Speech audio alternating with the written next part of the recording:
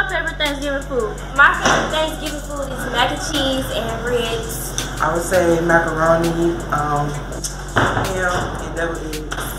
It's, it's macaroni and cheese. Macaroni, but or candy yams, but it depends on who makes them because I'm not just gonna eat anybody's food. Me personally, I like cranberry sauce. Shoot, I don't know. Yams, turkey, Yams, macaroni, baked beans. Macaroni. Okay. Ham. Probably yams. Like yams. Yams are good. Yams? Yes. my auntie mashed mac and cheese. What are your plans for Thanksgiving? Um, to really just sit around with family, play games, watch movies, and eat. Actually, yeah, the same, just like her. To eat with my mama, my family.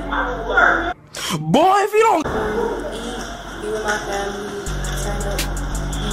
My plans for Thanksgiving is to um, march in the Thanksgiving parade that morning. I'm going to my sister's house with my family. Um, my plans for Thanksgiving is like hanging out with my family, eating food, really just like getting time with my family. Same thing as her. Teacher are you thankful for and why?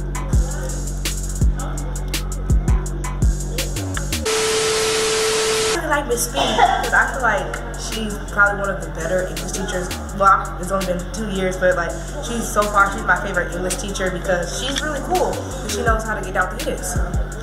Um, I'm thankful for Miss Palmer and Miss Speed. Miss Palmer, you know, she really gives us the opportunity to dance when we don't have that opportunity.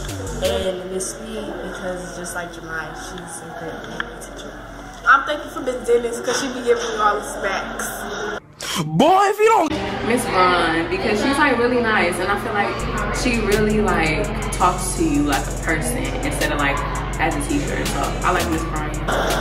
I'm thankful for Mr. Woods because he be on me about my stuff, my money.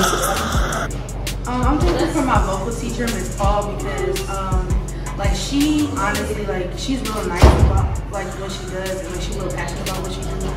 I love Mr. Red because he's always there for the students. He be real.